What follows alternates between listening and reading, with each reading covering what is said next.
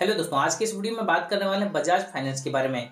अगर आप एक बजाज फाइनेंस के कस्टमर हैं और कोई भी प्रोडक्ट एंड सर्विसेज़ के बारे में अगर आपको रिक्वेस्ट रेज करना चाहते हैं तो कैसे करेंगे? उसी का complete information step by step process आज की इस वीडियो में मैंने शो किया है कि अगर आपको कोई भी प्रोडक्ट एंड सर्विस के रिगार्डिंग कोई रिक्वेस्ट रेज करना है तो आप कैसे करेंगे? उसका प्रोसेस क्या है? आइए देख लीजिए।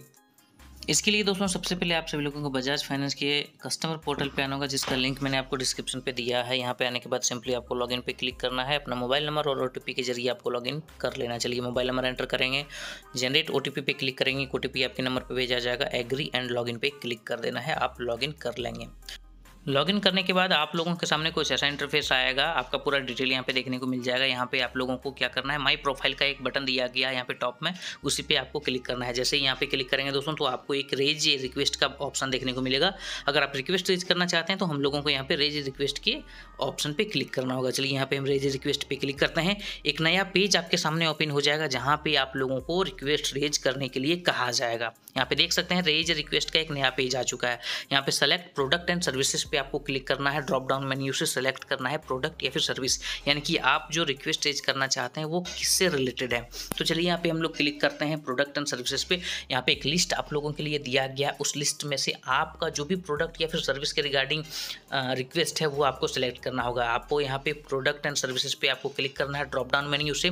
और यहाँ पे कार्ड्स का फिक्स डिपॉजिट का इंश्योरेंस लोन्स बहुत सारे ऑप्शन दिए जाते हैं। तो आपको यहाँ पे देख लेना है और अपने अनुसार यहाँ पे सेलेक्ट करना है। मेरा जो है दोस्तों, वो कार्ड के रिगार्डिंग है तो सिंपली हम यहाँ पे कार्ड्स पे सेलेक्ट कर लेते हैं। जैसे ही आप यहाँ पे कार्ड्स पे सेलेक्ट करेंगे दोस्तों, उसके बाद आप लोगों को क्या करने के लिए कहा जा रहा है, ये दिखाते हैं। कार्ड्स पे यहाँ पे हम क्लिक कर लेते हैं। उसके बाद यहाँ पे आपको सेलेक्ट प्रोडक्ट टाइप पे क्लिक करना है, यानी कि कौन सा कार्ड है आपका ईएमआई कार्ड हेल्थ कार्ड तो हम ईएमआई कार्ड पे सेलेक्ट कर लेते हैं। ईएमआई कार्ड का नंबर सेलेक्ट कर लेते हैं। उसके बाद यहाँ पे देख सकते हैं दोस्तों सेलेक्ट क्वेरी टाइप है। यानी कि आप जो क्वेरी रेज करना चाहते हैं, वो कौन सा टाइप का है? तो मेरा जो है दोस्तों, वो कार्ड के रिगार्डिंग ब्लॉक अनब्लॉक में आता है।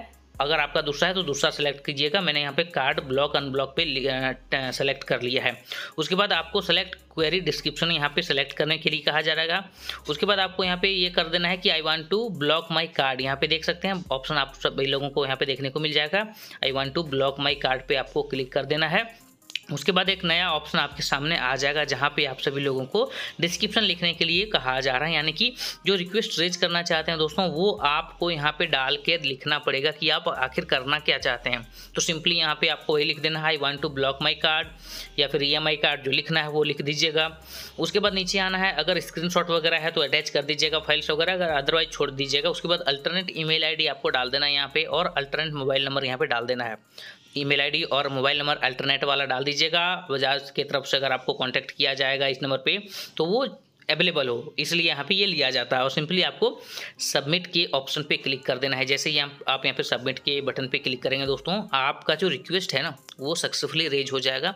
आप यहाँ पे देख सकते हैं, सब कुछ हो चुका है। सिंपली यहाँ पे आपको सबमिट वाले बटन पे क्लिक कर देना है और आपका जो रिक्वेस्ट है दोस्तों, वो रेज हो चुका है। देख सकते हैं यहाँ पे एक आपको नोटिफिकेशन भी देखने को मिल जाएगा कि आपका जो रिक्वेस्ट है, वो उसका आईडी ये है और रिक्वेस्ट रेज हो चुका है और जल्दी से जल्दी इस रिक्वेस्ट को मतलब यहाँ पे सोल्व किया जाएगा बजाज की तरफ़ से।